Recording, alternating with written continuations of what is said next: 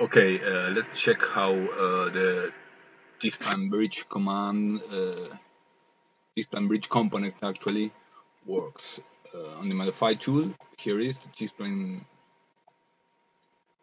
bridge component. So basically what it does is uh, make a bridge between uh, faces or edges. So we're gonna need a couple of surfaces to bridge from.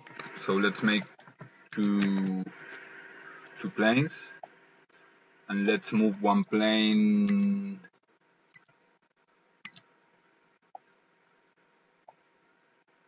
in the theta axis. Let's make a slider to control that amount. Uh, we're gonna use from 0 to 20 we're gonna connect here. So basically we have our two surfaces. Let's uh, set the number of faces on each plane. We're gonna need another slider. Let's go from one, that's the minimum number of uh, faces, to let's say 10. I'm gonna contact I'm gonna connect this slider in both uh, planes. So now I can change the number of faces on each plane. Okay so let's say we want to bridge the interface here with the interface here. Uh, for that uh, we're gonna need to use this component. Is the decompose the face what it actually does is um, give us the faces indices in different ways, all the faces, the regular faces, the end-on faces, the border, and the inside faces. In this case, we need the inside faces. So first, let's copy this.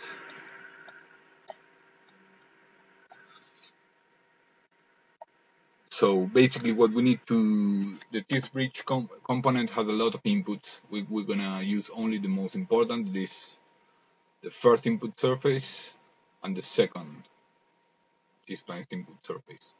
So the surface, we have it here, we just need to connect them. And then we're gonna use, you have the first set of edges and the first set of faces. So we're gonna take the inner faces of one of the planes. I'm gonna connect it there. And the interfaces of the other of the planes, we connect it in the face input. Let's hide this. So basically we have a, a bridge between the middle faces. Another useful, you can you can bridge along a curve uh, with a rotation and another useful parameter is the number of uh, segments on the bridge. So let's make a, actually let's copy this slider. And we connect it there. So now we can control parametrically the number of uh, edges or faces we want in, in, in the bridge. If you can see, uh, let's bake it. Hide this. So basically we have a bridge between two different surfaces.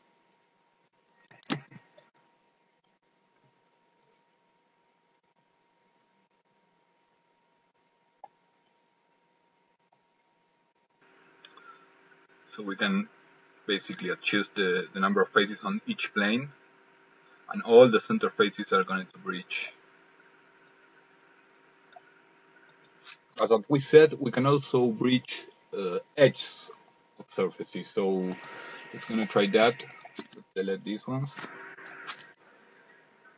Uh, so basically, what what we want to try is to bridge these edges with these edges.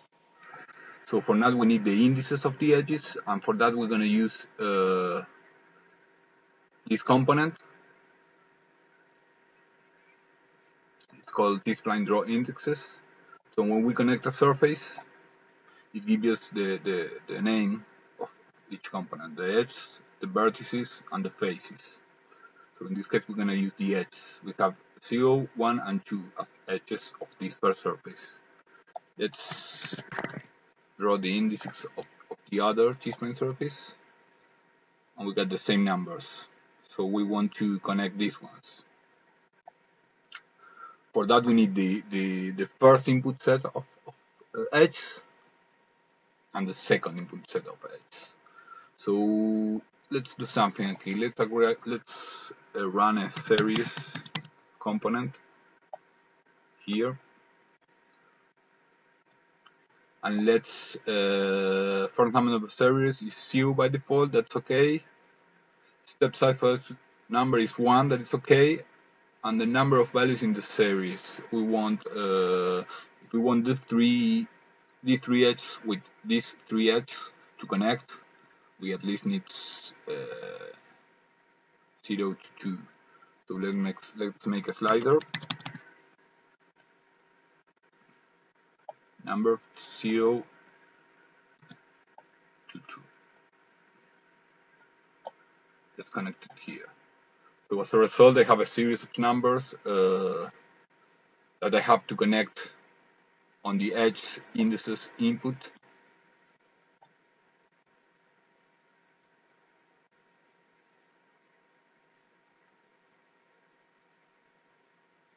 Actually we don't want from 0 to 2 we want from 1 to 3 so what you can see I breach all these edges. Let's try this.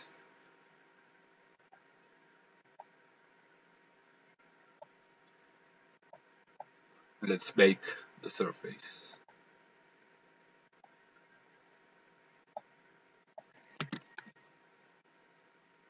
There we have the, the T-spline surface that was breached.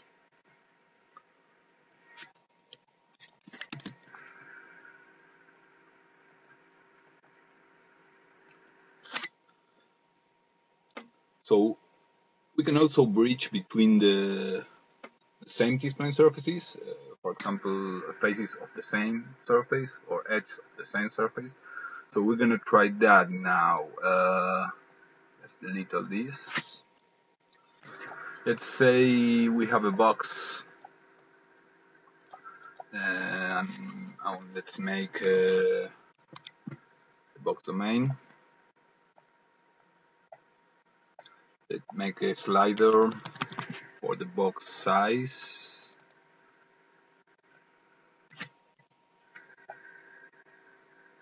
And we'll connect this to all the inputs.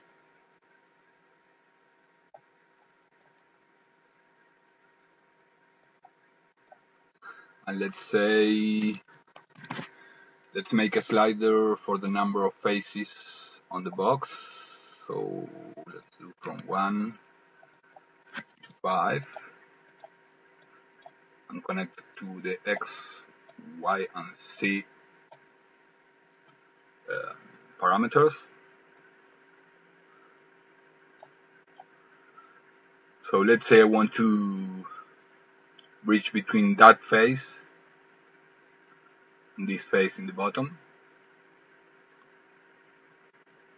What we're gonna need uh, to do is to use the draw indices to know the indi indices of, the, of those uh, faces.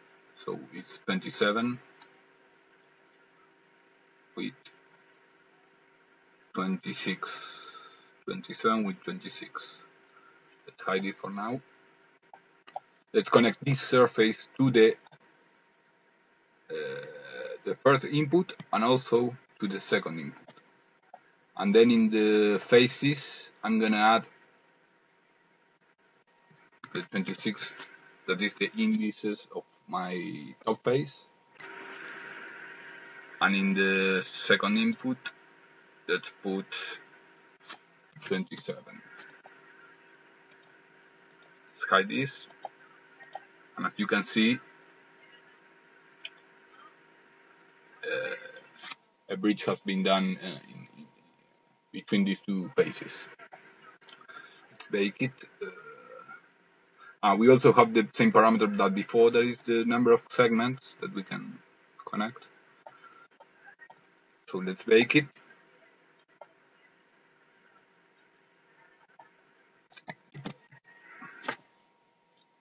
Here we have the surface.